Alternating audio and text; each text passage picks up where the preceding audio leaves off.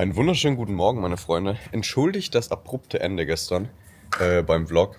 Aber ich war irgendwie so kaputt und so müde und hatte dann noch wirklich keine wirkliche Lust mehr, irgendwie noch groß was zu erzählen oder noch irgendwas zu filmen. Deswegen äh, gab es gestern so ein abruptes Ende im Vlog. Aber es war gestern eh sehr, sehr wenig am Tag, was wir so gemacht haben, was ich euch hätte zeigen können. Außer halt eben Sport. Und da war ich relativ stolz und habe mich total gefreut, dass ich äh, gestern das erste Mal 41 Minuten geschafft habe. Juhu! Und schaut mal. Wir haben heute wunderschönes Wetter. Oh, herrlich. Die Sonne scheint. Schau euch das an. Da ist die Sonne. Oh. Wir haben es jetzt kurz vor 10 am Morgen. Und es ist schon richtig schön warm. Richtig angenehm von der Temperatur, muss ich sagen. Und das macht mich gerade richtig glücklich. Wir gehen auf jeden Fall nachher an den Strand. Jetzt erstmal ein bisschen wach werden. Vielleicht schon mal ein bisschen in die Sonne legen, weil ey, ich bin so weiß. Ja, ich bin so weiß, weil ich in Deutschland gefühlt nie rausgehe und immer nur daheim bin. Videos drehe, irgendwas zock oder es mir gemütlich mache. Ich weiß nicht, ich gehe einfach nicht so gerne raus in Deutschland. Weil, also zumindest im Sommer nicht. Sagen wir es mal so, ich gehe schon gerne raus in Deutschland, aber im Sommer irgendwie nicht so, weil es ist einfach immer so heiß und da weiß ich nie so recht, was ich machen soll dann kriege ich immer die Krise. Und wenn du halt in der Stadt lebst, ist es halt irgendwie noch schlimmer. Will ich jetzt auf dem Land leben, okay, gut. Aber in der Stadt ist es halt immer so drückend alles gleich im Sommer. Deswegen, Sommer ist nicht so mein Favorite in Deutschland. Also hier gehe ich zum Beispiel, bin ich gefühlt nur draußen. Ich liebe das einfach so sehr. Aber das ist einfach so das Ding in Deutschland. Ich weiß nicht. So besonders wenn du in der Stadt lebst im Sommer, das ist alles voll mit Menschen. Das regt mich immer auf. Mich nerven so viele Menschenmassen. Ähm, und dann ist es irgendwie so ultra drückend und heiß und überall Lärm und Autos und I don't know, man. Ich bin einfach nicht für dieses Stadtleben gemacht, bin ich immer so der Meinung. Ich lieb's so, in, in Großstädte zu fliegen, ja, nach Großstädten zu, oder zu Großstädten zu fliegen, so, keine Ahnung, LA oder New York und so, das fand ich alles so geil. Aber so diese deutschen Städte, ich weiß es nicht. Ich werde damit einfach nicht warm. Es wird einfach Zeit, Deutschland zu verlassen. ich sag euch, wie es ist ich werde da nicht glücklich. Ja. Ähm, nichtsdestotrotz, schön, dass ihr wieder eingeschaltet habt und einen wunderschönen guten Morgen, weil ich werde ja diese Vlogs jetzt wahrscheinlich immer morgens hochladen oder habe sie wahrscheinlich jetzt bis jetzt immer hochgeladen am Morgen. Ich bin noch ein bisschen müde, ein bisschen verpennt, ein bisschen verknautscht, aber ich bin erst seit 10 Minuten wach oder so. Also in dem Sinne, viel Spaß im heutigen Video. Wir machen es heute wieder ganz gemütlich. Mal schauen, was heute so geht. Wie gesagt, nachher gehen wir an den Strand. Seid ihr natürlich auch dabei. Ich freue mich voll, weil ich war jetzt noch gar nicht am Strand, seitdem wir hier sind ähm, so am Meer und an den Felsen schon, noch nicht am Strand. Und dann mal schauen, was heute so geht. Ich weiß auch gar nicht, was ich sportlich heute so machen möchte. Weil ihr wisst ja jeden Tag äh, irgendeine sportliche Aktivität. Hm, ich weiß noch nicht genau, was es heute wird. Weil ich habe übelst die, äh, also nicht übelst, aber ich spüre es richtig in den Beinen, besonders an den Gelenken vom Laufen. Weswegen ich vielleicht äh, heute eher was, ja, eher so ein Workout oder so mache. Na, wir werden sehen. Mal gucken. 2000 Jahre später. Okay, äh, 10.17 Uhr. Ich habe jetzt doch tatsächlich beschlossen, jetzt mein Workout zu machen, weil wenn den ganzen Tag heute die Sonne scheint, dann wird es heute wahrscheinlich noch sehr warm. Weswegen wir jetzt das Workout machen und danach geht's an den Strand. Ähm, Ziel ist es, 200 Liegestützen zu schaffen. Ich hoffe, ich krieg's hin. Ich bin guter Dinge. Das ist das Ziel. Die 200 muss auf dem Handy stehen. Und dann darf ich an den Strand. Deswegen, wir legen los. 200 Liegestützen. Wenn ihr Bock habt, könnt ihr natürlich auch sehr, sehr gerne mitmachen. Ich werde aber wahrscheinlich wieder einen Zeitraffer machen, aber ihr könnt ja einfach auch jetzt, während ihr das Video macht, einfach pausieren, auch ein Workout oder irgendeine sportliche Aktivität machen und dann sehen wir uns, wenn wir alle unser Workout irgendwie gemacht und erreicht haben. Wäre doch eigentlich auch ganz witzig. Also, wir legen los mit meiner komplett versifften Badehose. Die ist einfach voll mit Creme und keine Ahnung, was das alles ist. Aber ist egal. Ist egal. Wir legen los. Ich hab Bock. In dem Sinne, let's go.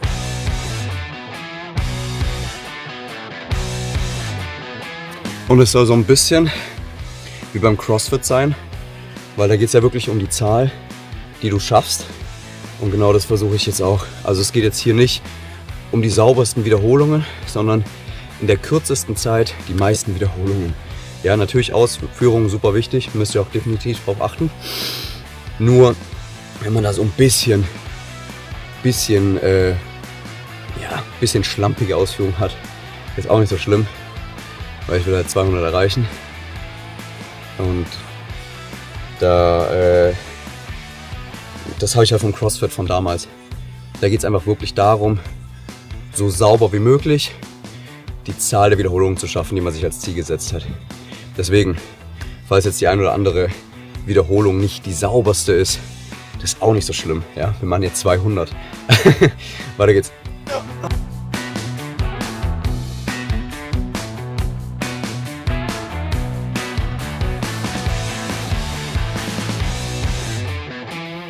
100 haben wir. Hälfte ist durch. Nochmal 100. Let's go.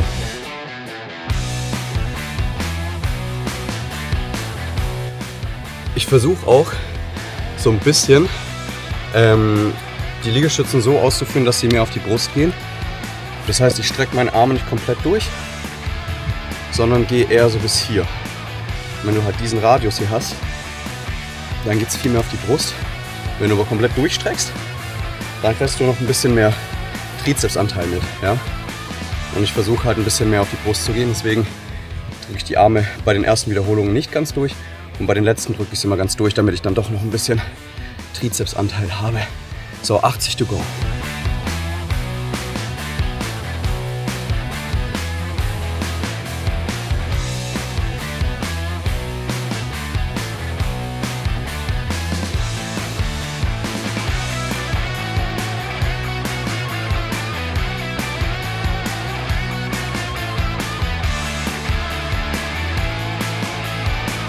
Let's go.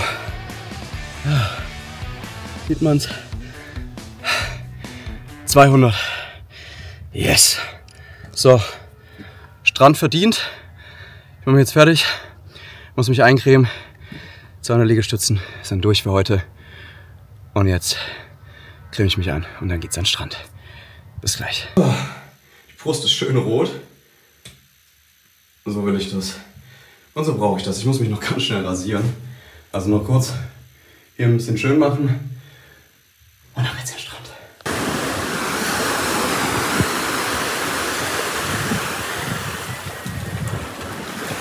Oh, herrlich.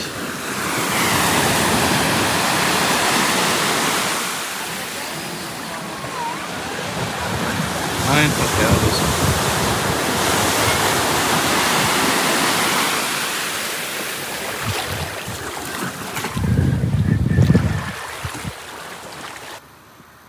Der Strand war herrlich. Jetzt gibt's was zu essen. Und zwar haben wir noch äh, Reste von gestern. Da habe ich gerade richtig Bock drauf, da freue ich mich. Das ist Pute, Chicken, ähm, Paprika. Jetzt fällt mir das Kartoffel und Aubergine ist noch irgendwo drin. Super lecker, perfektes Sommeressen. Oh, da freue ich mich jetzt. Und auch schön clean, wisst ihr, das ist echt schön gesund und schmeckt einfach nur super lecker. Das gönne ich mir jetzt und dann wird ein bisschen Siesta gemacht, ein bisschen auf dem Sofa chillen, ein bisschen was zocken. Und dann vielleicht später noch ein bisschen im Pool, Sonne genießen. Heute ist ein echt schöner Tag. Ach ja. Dieser kleine Kollege fühlt sich einfach so wohl in meiner Hand. ich wollte ihn gerade eben so ein bisschen wegtun, weil er hier die ganze Zeit auf der Treppe gechillt hat und ich hatte Angst, dass wir da drauf treten. Und jetzt hat er sich da einfach an meine Hand währenddessen gechillt. Aber die Kamera ist voll dreckig. Man sieht irgendwie nicht richtig. Oh nee. Das ist so eine miese. Jetzt besser? Nö. Okay, keine Ahnung. Irgendwie ist die Kamera gerade verschmiert oder so. Da ist er. Er wohnt hier halt gerne bei uns, aber ich glaube halt, dass es draußen besser für ihn ist. Gell? Kleiner Kollege. Schau mal. Guck mal, chill dich mal hier so hin. Er ist so süß. Oh mein Gott, er ist so süß. Du kleiner Drache. Guck mal. Schau mal hier. Ja. Aber jetzt nicht wieder reinkommen. Gell? Kollege Schnürschuh. Jetzt nicht wieder reinkommen. Jetzt, ich konnte die Kamera jetzt endlich mal sauber. Okay. Oh, aber da ist auch gefährlich. Weil nicht, dass wir dich da aus Versehen einklemmen. Ja. Guck mal, wenn ich jetzt nämlich das hier so ein bisschen bewege. Wo ist er denn jetzt? Hallo? Ah, da.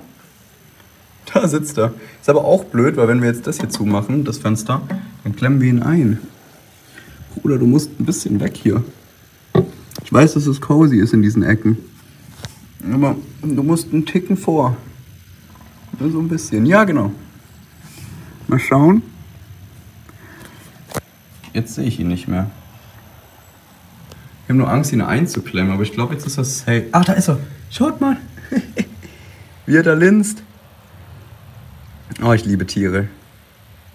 Okay, guck mal, wenn wir das jetzt systematisch. Aber jetzt ist er ja dann wieder bei uns drin. Na egal. Guck mal, wenn ich jetzt hier ganz vorsichtig hier zumache. So. Oh. So. Okay. Ja. Ich glaube, jetzt haben wir das hinbekommen. Jetzt mache ich hier zu, damit er nicht wieder reinkommt. Weil der ist schon seit zwei Tagen bei uns hier drin und ich habe ein bisschen Angst, dass er hier kein Fressen kriegt. Also, dass er hier nichts findet, versteht ihr? Deswegen. Ja. Aber ich glaube, jetzt ist er safe erstmal. Jetzt ist er halt draußen in der Natur, aber ich glaube, das ist auch nicht verkehrt. Ja, guck mal, das Fenster ist offen. Ja, vielleicht kommt er auch wieder rein. Also wenn er wieder zu uns will, dann wird er wieder reinfinden, sagen wir es so. Aber ich denke, so ist es besser. Weil der ist halt abends immer hier irgendwo und da muss man voll aufpassen. Aber ich glaube, draußen würde er sich wohler fühlen. Da findet er vielleicht auch zu seiner Familie. Schaut mal, wie schön es ist. Die Sonne geht gerade unter. Aber es ist herrlich. Sonne geht unter. Und äh, ich werde jetzt hier chillen und grillen. Das Feuer vorbereiten. Das ist noch die Kohle vom letzten Mal, die muss ich jetzt noch ein bisschen kurz rausschaben. Und dann wird hier gleich richtig geil gegrillt. Zu dem schönen Sonnenuntergang. Ach, ist das herrlich. Guck mal, wie die da so durchscheint, die Sonne. Durch den Olivenbaum. Schee. Also es ist so witzig, er ist einfach, er ist einfach wieder zurückgekommen. er ist einfach wieder hier. Wir haben es jetzt 21.44 Uhr. Ich habe ihn heute Nachmittag, habe ich ihn noch raus und habe ja gesagt, wir lassen das hier mal offen, falls er möchte. Kann er jederzeit wieder reinkommen. Ja, und seht mal da, da kommst du hier so die Treppe runter und dann ist er einfach da. Wir haben gerade richtig geil gegrillt gehabt, also vorhin. Und jetzt habe ich gerade eben, Moment, festgestellt, dass ich es heute nicht ganz geschafft habe, alle drei Ziele zu erreichen. Also die Kalor den Kalorienverbrauch habe ich nicht ganz erreicht, den ich heute wollte. Immerhin ist das Training erledigt. Die Stehstunden habe ich heute auch nicht ganz geschafft. Aber ich sage euch ehrlich, ich bin mir zu 95, na, zu 99 Prozent sicher, nicht zu 95, zu 99 Prozent sicher, dass ich die Kalorien und das Stehziel heute erreicht hätte, weil ich habe gefühlt die Hälfte vom Tag die Apple Watch nicht getragen. Also stellen wir uns einfach vor, dass ich die Ziele höchstwahrscheinlich alle erreicht habe. Ähm, der Grund dafür ist einfach, dass ich die Apple Watch halt nicht getragen habe. Als wir am Strand waren, auch später, als wir hier gechillt haben und so. Ich habe die erst heute Abend wieder dran gemacht. Also bin mir ziemlich sicher, dass ich diese 100, 103 Kalorien, äh, 203 Kalorien easy noch verbrannt habe im Laufe des Tages und die Stehstunden sowieso. Also von dem her äh, habe ich das wahrscheinlich eh alles erreicht. Es ist halt bloß nicht getrackt worden. Das ist der Unterschied. Ja, jetzt schaue ich einen Horrorfilm, der nennt sich Night Swim. Ich habe keine Ahnung, was es da geht. Um irgendeinen Pool, der verflucht ist. Bin mal gespannt. Meine Freundin liegt schon unten im Bett. Aber ich wollte noch ein bisschen hier oben chillen und noch was anschauen. Eieieiei. Irgendwas äh, ist in diesem Pool auf jeden Fall. Und jetzt gibt es gleich noch einen kleinen Snack. Und der letzte Snack des Abends. Und zwar was Süßes, aber was Gesundes, Süßes. Ich mache so eine kleine Joghurt-Bowl. Ähm, oh nein, ihr Hausschuh. Das ist das letzte, was übrig geblieben ist. Zeige ich euch gleich. Ein bisschen, also eher ähnlich so wie die Frühstücksbowl, die ich mir mal gemacht habe. Die gibt es jetzt gleich noch und die zeige ich euch jetzt. Ihr wisst ja inzwischen, wie es abläuft. Die Bowl, da ist wieder drin äh, Zartbitterschokolade, 85-prozentige. Also wenn ich höhere finde, würde ich sogar noch höhere nehmen. Ähm, dann haben wir wieder Nektarine, Blueberries, griechischer Joghurt. Und jetzt ganz wichtig natürlich, ein bisschen Honig. Jawohl. So, und dann schön vermischen. Dann ist es ein richtig geiler abendlicher Snack, der halt auch tatsächlich gesund ist, ja. Das ist natürlich das Wichtige, weil ich versuche ja auch so wenig Zucker wie möglich zu mir zu nehmen in dieser Zeit, wo wir jetzt hier diese Challenge machen. Und da muss man natürlich abends trotzdem irgendwie so ein bisschen auf seinen, naja, wie sagt man, auf seinen Heißhunger kommen, ne? wenn man abends dann Bock hat, irgendwie was Süßes zu essen. Und das ist halt eine super Sache. Einfach ein bisschen Honig, paar Früchte, bisschen Zartbitterschokolade und Joghurt. Ohne Scheiß. Schmeckt so gut. Das ist so super lecker. Vor allem durch diese Zartbitterschokolade habt ihr ja trotzdem was Schokoladiges. Und ihr wisst ja, umso kakaohaltiger, umso besser natürlich. Antioxidantien und so weiter habe ich euch ja schon mal erklärt, warum die gerade so gut ist. Auch wenn man immer denkt, Schokolade ist nicht gut. Zartbitterschokolade mit einem hohen Kakaoanteil ist tatsächlich echt gut. Ja, ist wirklich sehr gut für den Körper. Deswegen kann man sich das sehr, sehr gerne mal gönnen. Das ist jetzt der letzte Snack für heute Abend. Achso, ich habe euch gar nicht gesagt, was ich vorher gegrillt habe. Äh, es gab so Spieße. Ich blende euch hier einfach kurz ein Foto ein. Habe ich irgendwie vergessen zu filmen. Wir haben so Spieße gegessen. So Chicken-Spieße oder Putenspieße waren das mit Spargel, ähm, Pilze, so ein paar Würstchen, so Putenwürste. War alles sehr, sehr lecker. Das haben wir vorher noch gegessen. Und ähm, ja, jetzt gibt es hier die finalen Snack. Hm, meine Freundin hat diese Kinderschokobons gesnackt. Muss ich morgen auch mal probieren. Das ist Kinderschokobon White. Kenne ich gar nicht. Muss ich morgen auch mal probieren. Aber das ist das jetzt für heute Abend. Und in dem Sinne würde ich sagen, es geht jetzt gleich ins Bett, nachdem der Film fertig ist. Ich esse jetzt währenddessen diesen Snack. Gebe euch nachher noch kurz ein Fazit zum Film. Mal gucken, wie der war. Weil ich bin erst mittendrin. Nachher gibt es noch ein Fazit. Also beziehungsweise bei euch jetzt gleich im nächsten Schnitt. Also ich bin kurz davor einzuschlafen. Dementsprechend ist auch der Film. I don't know, das ist irgendwie komisch. Es ist halt ein Pool, der halt so verflucht ist und da sind so Geister drin. Und der Pool macht dich auch verrückt und er ist irgendwie unendlich. Also du gehst in den Pool rein und es ist einfach so unendlich tief. Und irgendwie kannst du da 100 Jahre lang die Luft anhalten, gefühlt, was ich irgendwie nicht so ganz verstehen kann. Und der Vater ist irgendwie total crazy geworden, weil der war krank. Der konnte auch kaum laufen und so. Ist dann in diesen Pool reingefallen und von Mal zu Mal wurde er immer, ging es ihm immer besser, immer besser, immer besser. Und dass er halt jetzt so besessen ist, dass er immer in diesen Pool rein will. Aber da drin ist das, ja, das ist halt einfach ein verfluchter Pool. Ja, und darum geht es in dem Film. Ja, weiß ja nicht so recht. Weiß ja nicht so recht. Müssen wir mal gucken.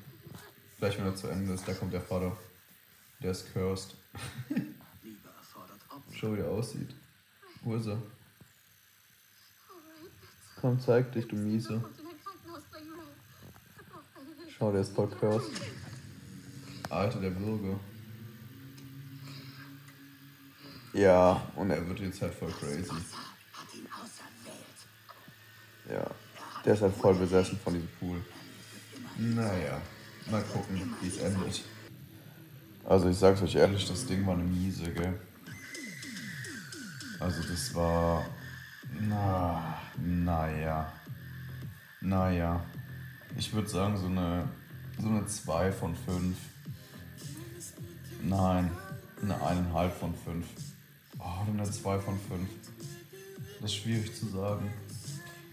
Ich würde gerne 2 von 5 geben, weil es mal was Neues war. Ja, komm, wir machen 2 von 5.